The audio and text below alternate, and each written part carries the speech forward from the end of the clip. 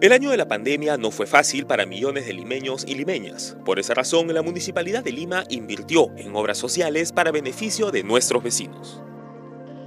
Este 2020, la municipalidad invirtió más de 215 millones de soles en 156 proyectos de obras sociales para beneficio de 19 distritos de Lima.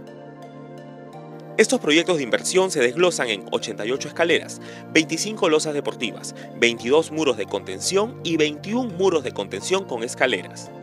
De esos proyectos, 50 se encuentran en fase de ejecución desde septiembre de este año con más de 62 millones de soles invertidos. Asimismo, ya se han concluido 39 obras, entre las cuales están 9 losas deportivas, 3 en Comas, 2 en Ate, 2 en San Juan del Urigancho, una en Villa El Salvador y una en Pachacamac. Por otro lado, 29 escaleras ya facilitan el tránsito de vecinos, 9 de ellas construidas en Comas, 8 en Ate, 6 en Villa María del Triunfo, 5 en San Juan del Urigancho y una en Chorrillos. De estas obras sociales destacan la construcción de las losas deportivas UCB 230 en Huaycán, en Ate, y del asentamiento humano Unión de Villa en Villa El Salvador.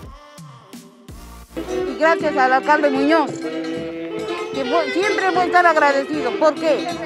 Porque el alcalde Muñoz le gusta trabajar sin distinción alguna. Estoy muy agradecido con el señor alcalde Muñoz, porque esto es una, una obra de bien común y acá todos los niños se van a beneficiar, mejora mucho.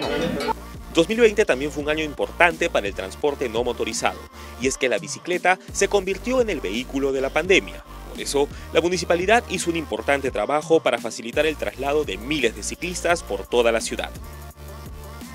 Este año se construyeron más de 17 kilómetros de ciclovías emergentes, entre las más importantes la de la avenida La Marina y Pershing, la de la avenida Canadá y la de la avenida Garcilaso de la Vega, Tacna y Alcázar. Además, la comuna limeña trabaja en la rehabilitación de más de 45 kilómetros de las ciclovías emblemáticas de la ciudad, como lo son las ciclovías de las avenidas Arequipa y Salaverry.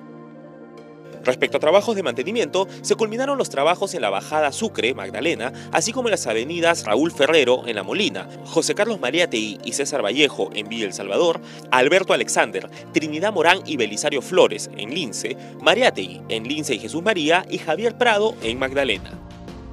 También se trabaja en la construcción de más de 15 kilómetros de nuevas ciclovías en los distritos de San Juan del Urigancho y Los Olivos, esto con el propósito de mantener más integrada a nuestra ciudad.